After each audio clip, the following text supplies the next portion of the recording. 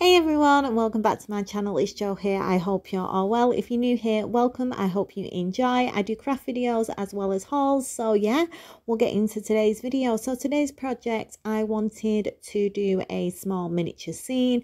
I like the idea of using some of the trees that I made in my video before this. So if you want to see how to make the trees, that video is the one before this one. And this is the first time I've done a miniature scene like this. So I hope it gives you some ideas. I'm not an expert in it, but I'll show you you how I did it. So these are the trees. Like I said, I made them in the previous video to this and that's what gave me the idea for doing this craft. And I'm using one of these cardboard rings that I picked up in Asda. They were just left on the side. They were in between some pans and I asked if I could take some and they said yes, but you could use anything that you wanted, a picture frame or a little tray, but I'm just going to trace around the inside on a old cardboard box. I'm going to do this twice just to make sure that there's a little bit of stiffness to it. Glued it together and now I'm just going to push this in where I want it. So I'm just going to use my fingers to get it to the height that I want. I want to leave about half a centimetre um, gap at the top so that once I put all my flock or fake snow, I was originally planning on using fake snow in this, but I didn't end up using any. And it's just to give it a little bit of depth so that I can add some more stuff to it and it doesn't all fall out just going to use my glue gun to glue around the outside. I'm going to do the top section first and then once it's dry I'm going to turn it over and do exactly the same underneath as well. This ring is about six inches in diameter. So it's fairly small, but big enough that I can get the detail on it that I want. Now the cardboard's in place, I can start to draw out how I want my design to be. So I want there to be quite large rocks at the back and then it kind of comes out to a bit of a clearing where I can have a small bench and I'm just drawing roughly where I want to put my rocks and my trees and the pathway where it's going to lead to the clearing. Once I've got my pathway, I'm just drawing roughly where I want to add my rocks. I ended up adding more in the end, but to start off with, this is the section that I wanted to use for my rocks. And then for the rocks, I'm going to be using tinfoil. So these two sections that I'm just shading in here is where I'm going to put my tinfoil.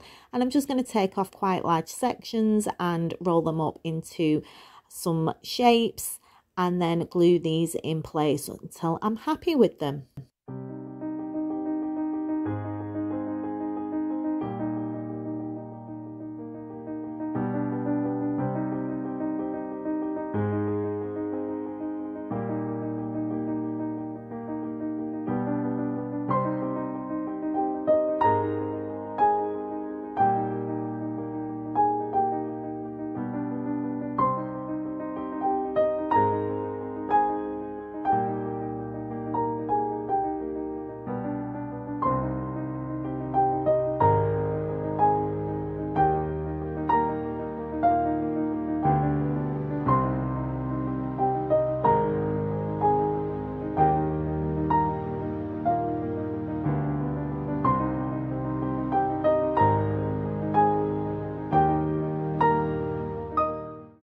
Once I've got my rough shape of my rocks, I'm going to then just use my fingers to make some crevices and cracks and just add a little bit more detail to how I want the rocks to be.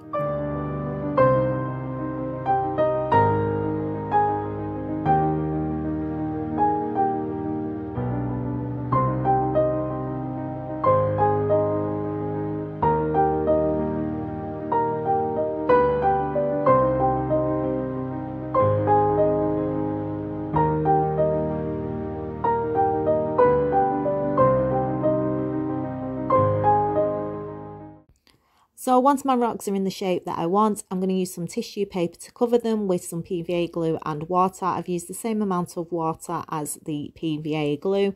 And this is just to completely cover all the tin foil so that it's easier to paint with the acrylic paints.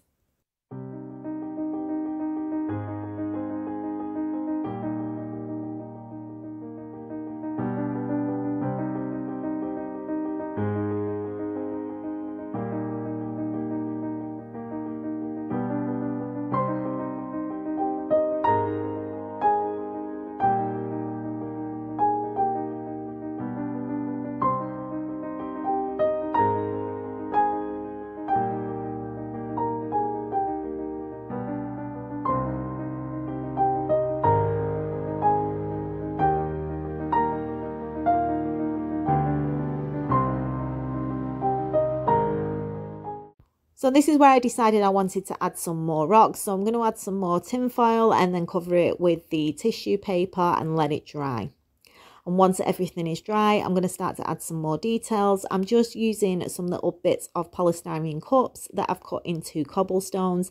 And I'm just going to put these every now and again on the pathway up to where the clearing is. I don't want a lot of them because I'm going to be having quite a lot of flock in between it. So I'm going to leave quite large gaps and it's just to add a little bit of extra detail to the finished piece.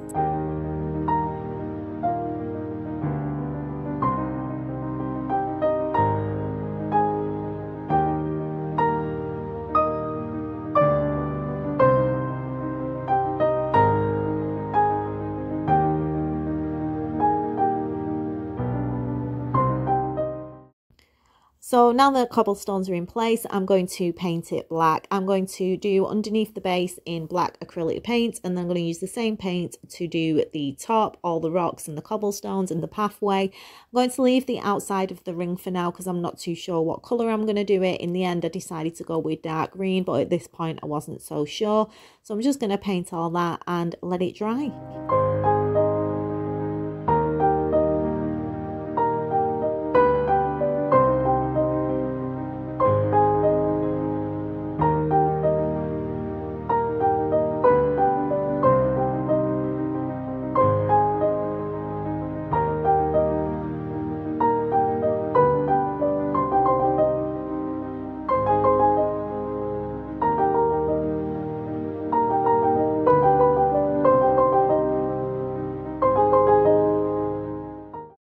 So now it's all painted in black except from the outside of the ring. I decided to add some brown paint to the pathway. This was just to cover the black so that it didn't show through any of the flock. I wasn't too sure how much flock I was going to put on so I just thought I better put this underneath it just in case.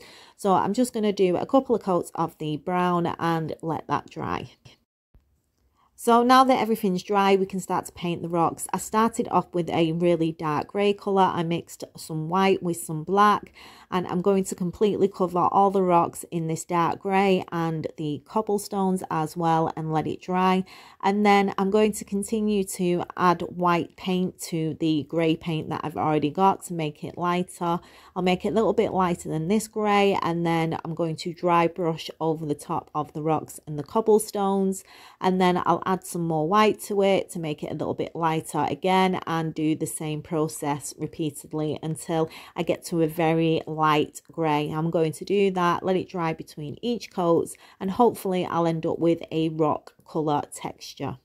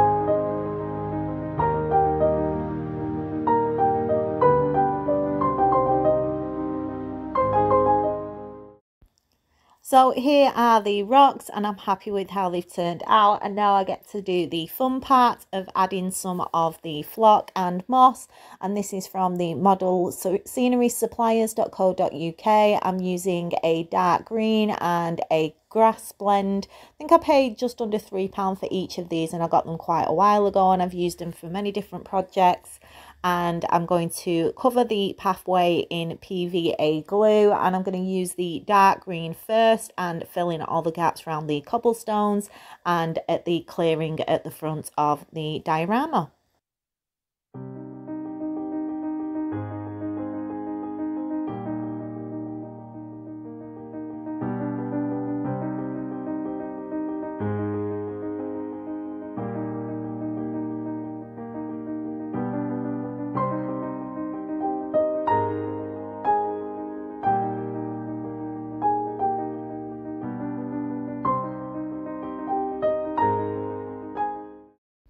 Now that all the dark green is in place, I'm going to add some of the lighter green over the tops of the rocks. And I'm also going to sprinkle it over the dark green that I've already put in place before I seal it all.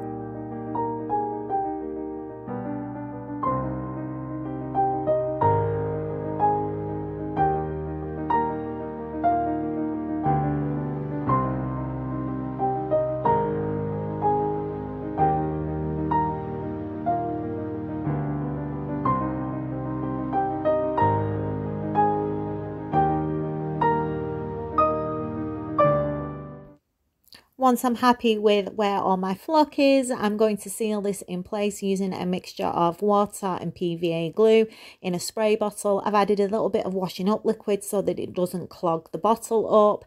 And I'm just going to spray all this, let it dry overnight, and this will dry hard so that the flock and the moss won't fall off as I move it. I then painted it in a light green around the outside and I wasn't happy with it. So I've now got a mixture of sap green and some black acrylic paint and I tried to match the colour of the trees. I'm just going to go over the green paint that I've already put in place and do two coats and let it dry and then we can start to work on the bench. So for the bench, I'm using matchsticks. I want the bench to be one inch wide. So I'm just measuring four matchsticks to one inch and I'm just going to cut these using a craft knife. Then once I've got my four strips at an inch I'm going to glue these together to form the seat of the bench. Just using my glue gun to do this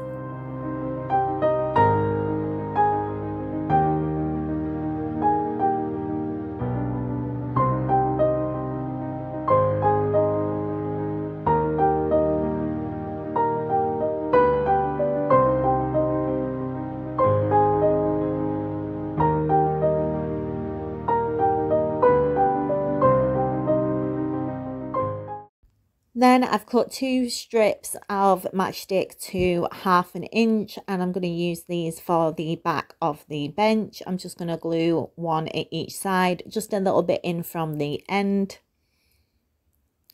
And then for the back of the bench, I've got two matchsticks that again, I've cut to one inch wide and I'm going to glue them at the top with a slight gap in between each of them at the back.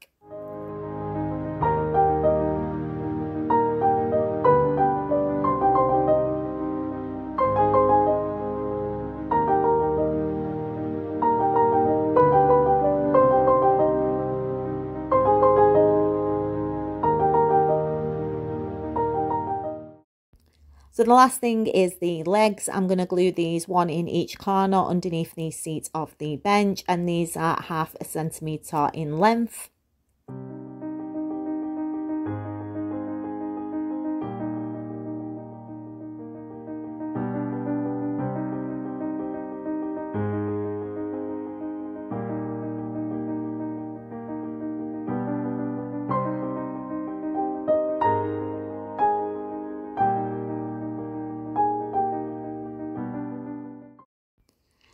Then to finish off, I'm using a light brown acrylic paint and I want to make sure that I completely cover the bench underneath, at the back and all the sides and let it dry. Now that the bench is dry, I'm going to glue it into position on my base and then the last thing to do is to add the trees. I'm going to give them a bit of a trim before I put them in the places that I want, making sure that they're the shape that I want. And all I'm going to do with the trees is add a little bit of hot glue to the bottom of them and glue them to the base. And then once the trees are in place, it is completely finished and we can have a proper look at what it looks like.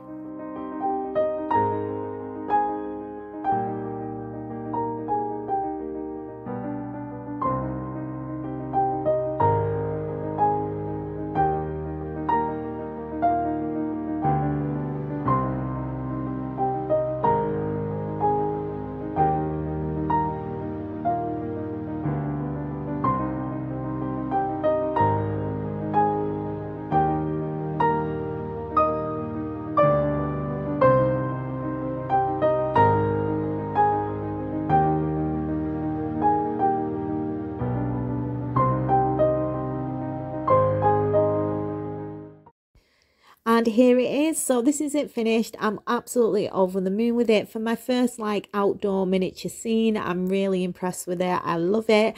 I'm so happy with how the rocks came out and the trees and i'm looking forward to doing more in the future. I want to make a matching piece to go with this kind of similar the same size and using one of the rings but i want to do more like of a river uh, river scene. So i'll do that hopefully at the beginning of next year but i will be back on monday with another craft video. So until then i hope you all have a wonderful weekend. Take care look after yourselves and i'll see you then. Bye for now